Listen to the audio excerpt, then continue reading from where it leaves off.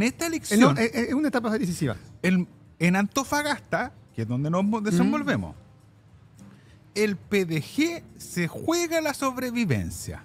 Así es. Y esa sobrevivencia no va a llegar en una elección directa como el alcalde. Eso no va a pasar, weón. No va a pasar. El PDG no va a ganar la municipal de Antofagasta. Pero, Eh, pero compite.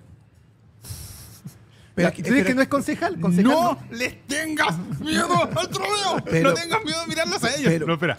Pero, si en las proporcionales por lista, que es el mejor desempeño que han tenido en su carrera, que en Sí. realidad es una carrera muy corta. La de Hablamos. Concejales y consejeros regionales.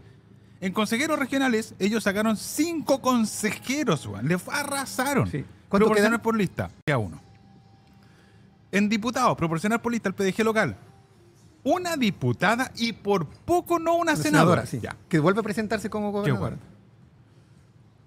En esta elección, si llegan a sacar un core, es con la piedra, tienen que darse una piedra en los dientes. Pa- Paula Celis. eh, Paula se- Celis, Yo creo que puede. que es la más fiel de todas. Pero Fue. Paula Celis puede sacar una buena votación, Sí. pero es, es Sí, una elección por lista. sí, sí.